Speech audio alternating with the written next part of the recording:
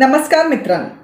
मी पल्लवी तुम्हा सर्वांचं पुन्हा एकदा माहिती खजाना या यूट्यूब चॅनलवर स्वागत करत आहे. आणि आज आपण भारताचा राष्ट्रीय सरपटणारा प्राणी अर्थात नॅशनल रेप्टाईल ऑफ इंडिया याविषयी माहिती जाणून घेणार आहोत.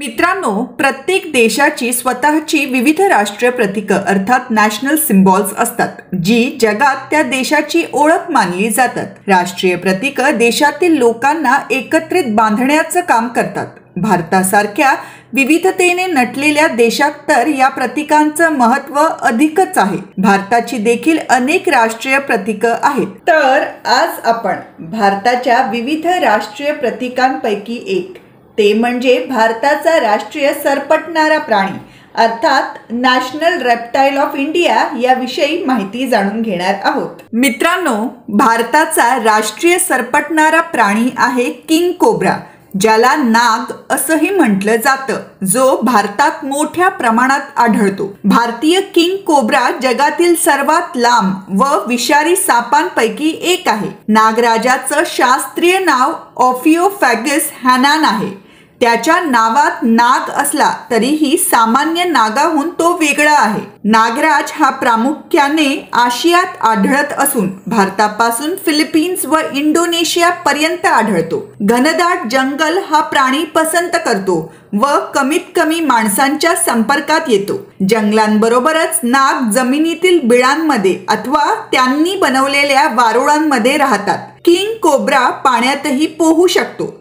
सध्या जंगलांची संख्या कमी झाल्यामुळे या प्रकारच्या नाग सापांची संख्या देखील कमी होत चालली आहे. मित्रांनो किंग कोब्राची उंची तीन ते चार मीटर असते परंतु काही वेळेस पाच पूर्णांक सहा मीटर पर्यंतही असू शकते. रंग पिवळा हिरवा तपकिरी किंवा काळा असतो. किंग कोब्रा याला ओळखण्याची खरी खूण आहे त्याचा फणा. त्याला डिवचल्यास अथवा जीवाला धोका जाणवल्यास तो त्वरित फणा काढतो. नरनाग मादीहून आकाराने मोठा व जाड असतो. त्याचे दोन्हीही जबडे परस्परांना जुळलेले नसल्याने तो मोठ्या आकाराचे भक्ष्य गिळू शकतो. वरील जबड्याच्या पुढील भागामध्ये दोन विषदंत असतात ज्यातून विष बाहेर येतं. त्याची जीभ दुभंगलेली असून तो सतत जीभ आत बाहेर करत राहतो.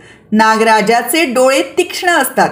तो जवळपास शंभर मीटर पर्यंतच्या गोष्टी नीट बघू शकतो. तसंच जमिनीमधील कंपनाचे त्याला उत्तम ज्ञानही असते. तीक्ष्ण नेत्र कंपनावरून व गंधज्ञानावरून त्याला भक्ष्याचा अचूक पाठलाग करता येतो. भक्ष्य जबड्यात पकडला की तो त्वरित गिळू लागतो. नागराज शरीराचा एक तृतीयांश भाग उभारून उभा राहू शकतो. शरीराचा पुढील भाग वर उचलून मान सरळ करून विषाचे दात दाखवत फुतकार सोडणे ही त्याची सवय आहे. नागराजाचा फुतकार इतर सापांच्या तुलनेत मोठा असतो. डिवचल्यावर किंवा अडचणीत सापडल्यानंतर स्वयंसंरक्षणाकरिता तो हल्ला करतो. एका दंशात जवळपास सहा एम एल विष अंतशेपित करण्याची क्षमता किंग कोब्रा मध्ये असते. मित्रांनो किंग कोब्रा हा मांसाहारी सरपटणारा प्राणी आहे. इतर साप उंदीर बेडूक सरडे व छोटे प्राणी त्याचं अन्न आहेत.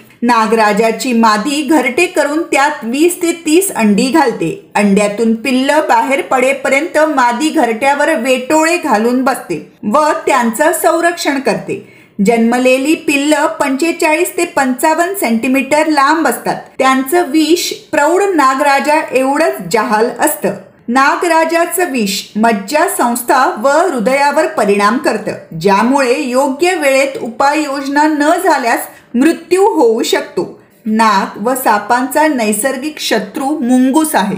मित्रांनो नागराजाला भारतीय संस्कृतीत देखील खूप महत्त्व आहे.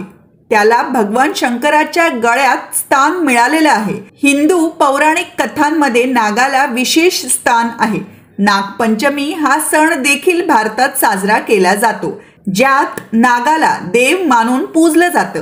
ज्यातून या प्रजातीचा सन्मान व संरक्षण करण्याची शिकवण दिली जाते. मित्रांनो जंगल तोड व कृषी विस्तारामुळे किंग कोब्रा यांचं अस्तित्व धोक्यात येत आहे. म्हणूनच भारतात वन्य जीवन संरक्षण कायदा एकोणीसशे बहात्तरच्या अनुसूची क्रमांक दोनच्या अंतर्गत किंग कोब्रा यांना ठेवण्यात आलं आहे. आणि त्यांना मारणाऱ्या व्यक्तीला सहा वर्षापर्यंतचा कारावास होऊ शकतो. मित्रांनो भारतीय संस्कृती आत्मज्ञान व तत्वज्ञानात किंग कोब्राला महत्वाचं स्थान असल्याने व त्याच्या प्रती सन्मान जागृत करून त्याचं संरक्षण करण्या हेतू त्याला भारतीय राष्ट्रीय सरपटणारा प्राणी म्हणून स्वीकारले गेले. तर मित्रांनो ही होती संपूर्ण माहिती. नॅशनल रेप्टाईल ऑफ इंडिया याविषयी.